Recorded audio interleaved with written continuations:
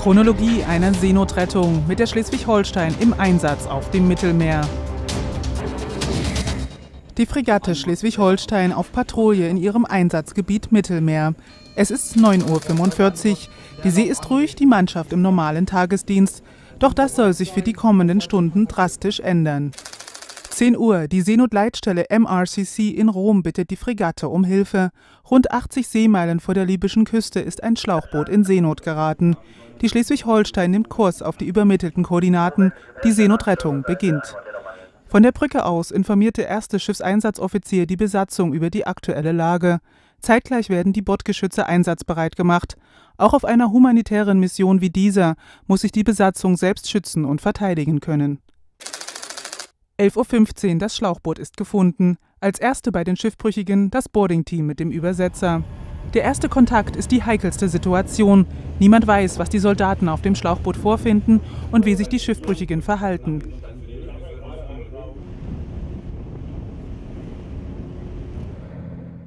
Zeitgleich bereiten sich im Hangardeck der Schleswig-Holstein weitere Soldaten vor.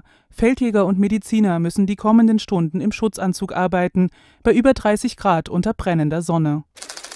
12 Uhr mit den Speedbooten bringen die Soldaten die 111 Schiffbrüchigen an Bord der Fregatte.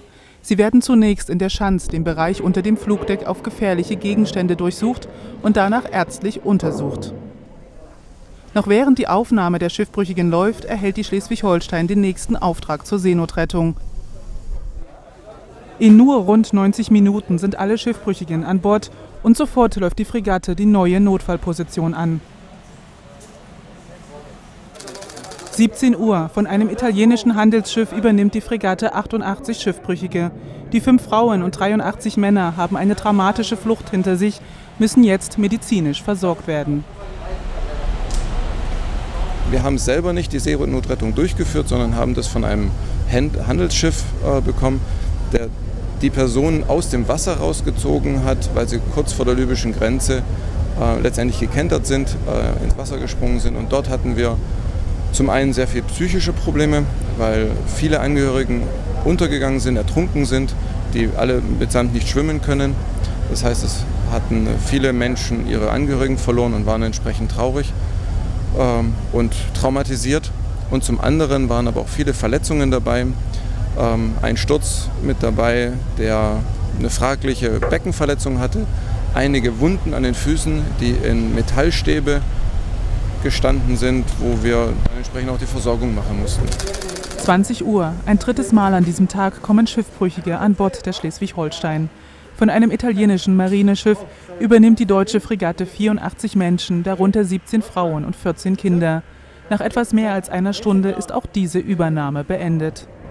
Auf dem Flugdeck ist es voll geworden. 283 Männer, Frauen und Kinder verbringen die Nacht unter freiem Himmel.